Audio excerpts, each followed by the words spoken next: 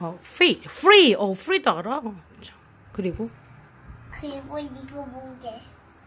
이거 진짜 어려운 거야. 어려운 문제 낼 거야? 나 큰일 나. 알았다.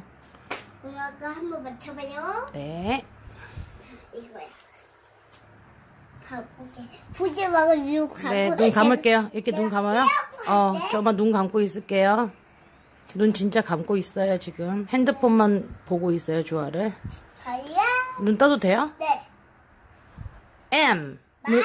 무, 무, 멍치 한 대. 그리고 매한 대. 어, man, monkey. 어우, 정말 잘하네, 우리. 그래도 가- 다시 가봐. 다시 감아요? 네, 알겠습니다.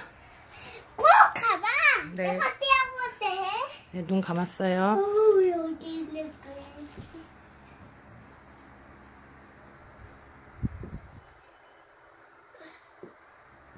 이거 먹을게. 오! 맞아요? 네. 오! 그거 어떻게 알아요?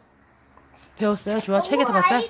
아, H, 탄- O, H, O. 아니, 그러면. 엄마 탄생 좀부터 네, 감을게요.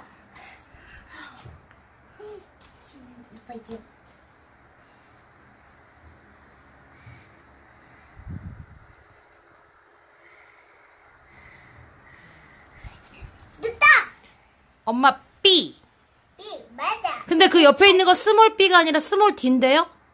그, 저, 얼굴이 저쪽으로 반대편으로 가 있어야 돼요. 여기? 네, 그러니까, 좋아, 봐봐. 펜 줘요. 아, B는 이렇게, 이렇게 해야 돼요. 아. 아, 이건 D예요, D. 알겠죠? 비슷하죠? 네. 예. 다시 한번 고쳐볼래요, B? small B만 고쳐볼래요? 나 이거 정말 안 쓸래. 왜, 왜? 써봐요.